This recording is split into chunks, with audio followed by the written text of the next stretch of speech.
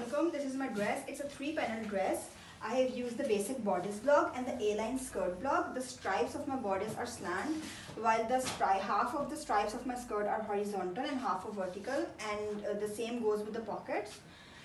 Uh, this is the back of my dress. It's the same. I have used a zip. Uh, it's not an invisible zip. Uh, the stripes coordination is the same. Um, the lining of my dress is also invisible as you can see